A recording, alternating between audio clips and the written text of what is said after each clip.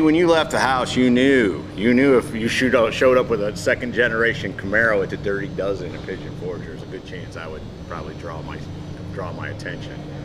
It's Yes, kind of cheating. It's kind of cheating to get on the Scottie D. I gotta let you know. You know, that's like laying down a piece of cake on somebody that's on a diet. You know. So no, what a beautiful car, brother. Tell me a little bit about it. Well, Scottie, this car has meant a lot to me all my life. This was a car that a friend of mine bought, brand new in 70. He kept the car forever, and when he first got it, back in the day, people didn't care about matching numbers. So he took the LT1 out. God only knows where it went. He put a LS7 in it, and he started just driving around doing a little street racing, nothing, nothing bad. So, and being a friend of mine, he and I would tangle every now and then on the street where we should, or shouldn't, but we did. And uh, he spanked me every time I ever